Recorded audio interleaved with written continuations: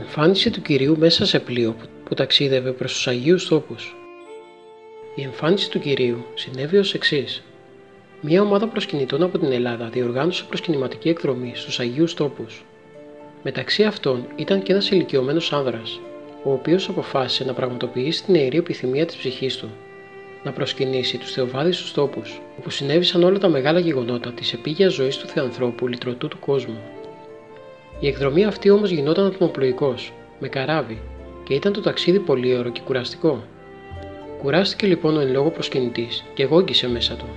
Ένας ολιγόπιστος λογισμός του έλεγε: Τάχα ήταν ανάγκη να κάνουμε τόσο κουραστικό ταξίδι, για να πάμε στα Ιεροσόλυμα.